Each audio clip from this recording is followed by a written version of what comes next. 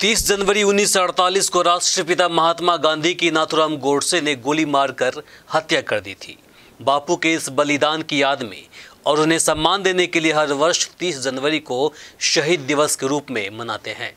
दरअसल अहिंसा के पुजारी महात्मा गांधी ने 30 जनवरी 1948 की शाम को दिल्ली के बिरला भवन में शाम की प्रार्थना सभा को संबोधित करने जा रहे थे। उसी समय तकरीबन सवा पाँच बजे नाथुराम गोडसे ने उनकी गोली मारकर हत्या कर दी। अहिंसक के पुजारी गांधी जी के निधन के बाद हर साल 30 जनवरी को शहीद दिवस के रूप में मनाया जाने लगा। बापू का जन्म 2 अक्टूबर अठारह सौ उनहत्तर को गुजरात के पोरबंदर में हुआ।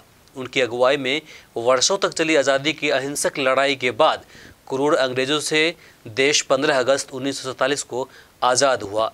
लेकिन अगले ही वर्ष उनकी हत्या कर दी गई। गांधी जी क्रूर विदेशी अंग्रेज़ों से तो जीत गए, लेकिन अपने ही देश में नफरत पालने वाले लोगों से वे हार गए। और 30 जनवरी 1948 को अपने उनासी वर्ष की उम्र में देश व दुनिया को अलविदा कह गए।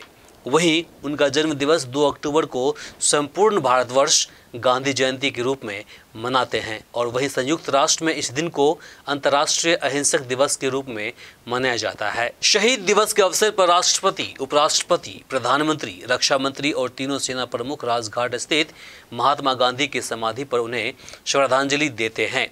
सेना के जवान भी इस अवसर पर राष्ट्रपिता को श्रद्धांजलि देने के लिए अपने हथियार झुकाते हैं। साथ ही देश के सभी शहीदों की याद में दो मिनट का मौन भी रखा जाता है। स्कूल, कॉलेज और दूसरे संस्थान में महात्मा गांधी से जुड़े कई तरह के कार्यक्रम, भाषण का आयोजन होता है। बापू, भले ही आज हमारे बीच नहीं हैं, लेकिन उनके विचार आज भी हमारे जहन में ज़िंदा है। राष्ट्रपिता का स्वच्छता का मंत्र आज जन जन तक पहुँच चुका है। भारतवर्ष हमेशा उनके इस बलिदान को हमेशा याद रखेगा।